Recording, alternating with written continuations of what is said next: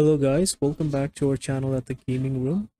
In this video, I'll show you guys a simple setup for A side split with Cypher. So without any further ado, let's head into a video. So let me show you two camera setup. First, you could align your camera like this, and you can see anyone crossing a in or pushing it. It's a really useful camera, and you can use other camera like this also.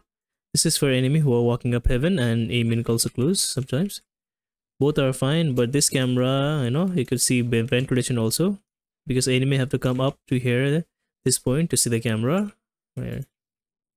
So those are two cameras. So after I place the camera over here, let's say it like this, you're gonna place a simple trap over here like this, and you're gonna place a cage trigger. And similarly, you can place one trap wire like this and one cage.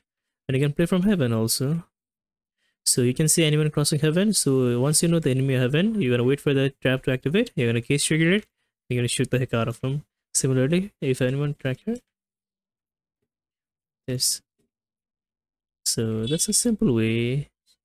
Just make sure that every util has its purpose.